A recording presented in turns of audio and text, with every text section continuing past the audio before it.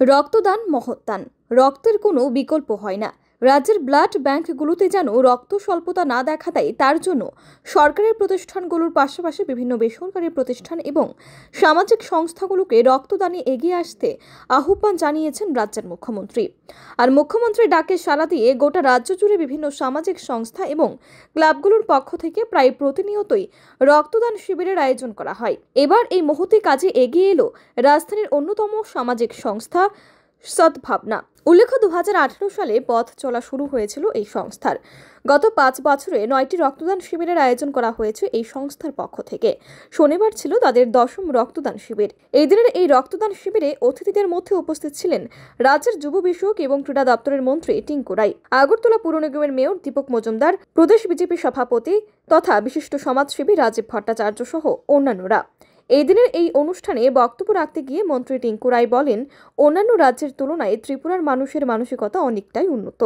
এই রাজ্যের মানুষ নিজে থেকে এগিয়ে এসে রক্তদান করে থাকেন, যার ফলে বর্তমানে রাজ্যের ব্লাড ব্যাংকগুলোতে রক্তের স্বল্পতা পরিলক্ষিত হয় না। কিন্তু বর্তমানে রাজ্যের সর্বত্র একটি সমস্যা মাথা চারা দিয়ে উঠছে, সেটি হলো নেশা। আর নেশা থেকে যুব সমাজকে বের করে আনতে সরকারের পাশাপাশি যদি এই সামাজিক সংস্থাগুলো এগিয়ে আসে, তাহলে খুব দ্রুত রাজ্যকে নেশামুক্ত করে তোলা সম্ভব হবে।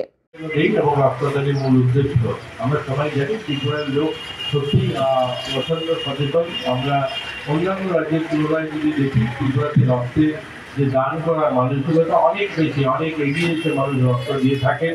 আর খুব কম সময় হয় যে আমাদের ব্লাড ব্যাঙ্কগুলোতে রক্ত শূন্যতা বা রক্ত কম থাকে। আমাদের গোটা রাজ্যে রক্তের এগুলো কারণ আমাদের যে সংখ্যাটা, চল্লিশ হাজার ইউনিট রক্ত দরকার হয় আমাদের, কিন্তু সেই ক্ষেত্রে আমাদের অনেকগুলো ক্লাব, হাজার বারোশো ক্লাব, বাজার সমিতি, বিভিন্ন সামাজিক সংস্থা, সবাই মিলে এই অনুষ্ঠানটা করে। কিন্তু এই মুহূর্তে আমাদের রাজ্যের জন্য সবচেয়ে যেটা সমস্যার সম্মুখীন আমরা হতে চলছি, সেই জায়গাটাও সামাজিক সংস্থাগুলোর জন্য। এগিয়ে আসে আমি আপনাদের মাধ্যমে এই মঞ্চ থেকে আপনাদের কাছে অনুরোধ করতে চাই।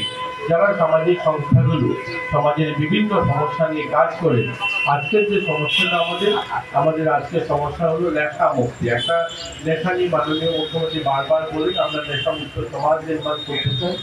আমাদের এই বেদিরা আজ এমন পর্যায়ে গিয়ে দাঁড়িয়েছে। ভালো ভালো ছেলেমেয়েরা যারা হয়তো তার মা বাবা তার আত্মীয় সবাই স্বপ্ন দেখেছিল যে জীবনে প্রতিষ্ঠিত হবে, অনেক মানুষের কল্যাণে আসবে। কিন্তু আজকে সে জায়গায় দাঁড়িয়েছে যে সে তো নিজেকে একটা সমস্যার মুখে ফেলে দিয়েছে, সবাইকে সেই রাস্তায় ঠেলে দিচ্ছে। তো সেই জায়গা থেকে যেন আমরা আমাদের যুব সমাজকে বের করে আনতে পারি, তার জন্য এই সামাজিক সংস্থাগুলো যেন কাজ করে। আমার দৃঢ় বিশ্বাস, আমরা সামাজিক সংস্থাগুলো যদি সবাই সরকারের সঙ্গে পাশে দাঁড়িয়ে কাজ করার মানুষের করি, তাহলে এটা সম্ভব হবে। আমরা যারা এই সমাজে বসবাস করি, আমাদের দায়িত্ব এই সমাজকে সুস্থ রাখা। বর্তমান সরকারের একটাই লক্ষ্য যে ক্ষমতার পরিবর্তনের সাথে সাথে এই সমাজকেও পরিবর্তন করতে হবে। এই বছর দুর্গাপূজাকে কেন্দ্র করে বিভিন্ন ক্লাব এবং সামাজিক সংস্থাগুলো যেভাবে সামাজিক কাজে এগিয়ে এসেছে, এইটাই হচ্ছে এই সমাজের পরিবর্তনের একটি মূল দৃষ্টান্ত। এদিন এই রক্তদান শিবিরে বক্তব্য রাখতে গিয়ে এ কথা বললেন প্রদেশ বিজেপি সভাপতি রাজীব ভট্টাচার্য।